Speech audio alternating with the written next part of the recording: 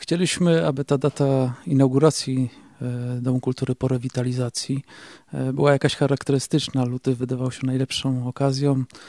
29 to nie mielibyśmy rocznic e, stałych, tylko co 4 lata, więc niedziela 28 lutego 2016 roku. Dzień dla nas wyjątkowy, bo w sali, która przeszła w zasadzie epokowy krok od, od, od Gierka w XXI wiek e, odbył się wyjątkowo magiczny koncert Doroty Miśkiewicz i Grzegorza Turnała z zespołem. Czekaliśmy na ten moment bardzo długo, w zasadzie starania o Naprawę starej tkanki trwały od dobrych 10-12 lat. 2006 rok to był, to był projekt, e, pierwsza próba złożenia wniosku, druga, jakieś poprawki.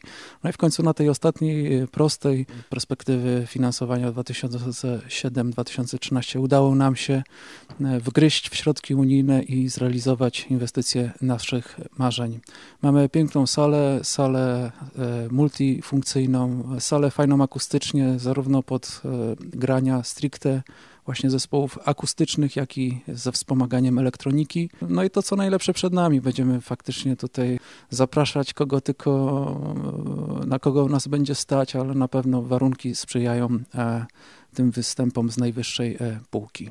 Oczywiście Dom Kultury to, to nie tylko sala widowiskowa, to, to również pracownie, to, to warsztaty i tu chyba zrobiliśmy najwięcej, bo do tej pory to, to naprawdę były opłakane warunki. Sale w zasadzie przypominały, przypominały nam jakieś, bym powiedział, widoki z baraków i to naprawdę to już była strasznie odległa epoka. Dzisiaj już w zasadzie chyba nie ma nigdzie tak. Mamy fajnie wyposażone pracownie, kupiliśmy sprzęt, że w zasadzie od dzisiaj możemy funkcjonować. Są meble, jest wyposażenie świetne pracowni ceramicznej i powolutku wprowadzamy się tutaj, by faktycznie na wiosnę ruszyć do mieszkańców z pełną e, ofertą wszystkich pracowni. Może zacznę od tego, że to jedna z najtrudniejszych inwestycji e, i w Nowej Soli, i w mojej karierze prezydenckiej. Inwestycja bardzo trudna, na którą czekaliśmy wiele lat. E, inwestycja bardzo złożona i skomplikowana, dlatego że remonty takich starych obiektów niosą ze sobą wiele niespodzianek. Tak? E, projekt był przerabiany chyba dwa, trzy razy, później walka o pieniądze unijne i w końcu realizacja inwestycji, która no, przyniosła wiele, wiele niespodzianek. Tak?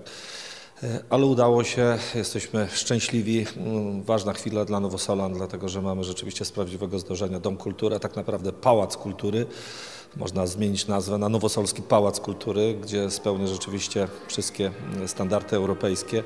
Mamy też kino w końcu w Nowej Soli. Do tej pory jeździliśmy do Zielonej Góry. W tej chwili mamy z prawdziwego zdarzenia kino 3D, Sorant, e, najnowsza technologia, e, jeśli chodzi o sprzęt. E, I Nowosolanie myślę, że będą korzystali z, no, no, z naszego Domu Kultury jeszcze bardziej niż do tej pory. Mimo tego, że w warunkach trudnych do tej pory działaliśmy, to rzeczywiście wiele się tu działo. Teraz w tych nowych murach, w nowym otoczeniu. Mam nadzieję, że tych imprez jeszcze będzie więcej i Nowosolanie, i Zielonogórzanie, i mieszkańcy regionu, okolicznych miejscowości będą korzystać z tego potencjału, który tutaj wytworzyliśmy. Chociaż zakręty, radość, puenty, choć świat smutnawy, radości nawyk. Kiedy dni kiepskie i czarne nawet, choć blask zwodniczy co świeci niczym. Kto się zachłysnął, nie mówi, krzyczy, choć brak kierunku,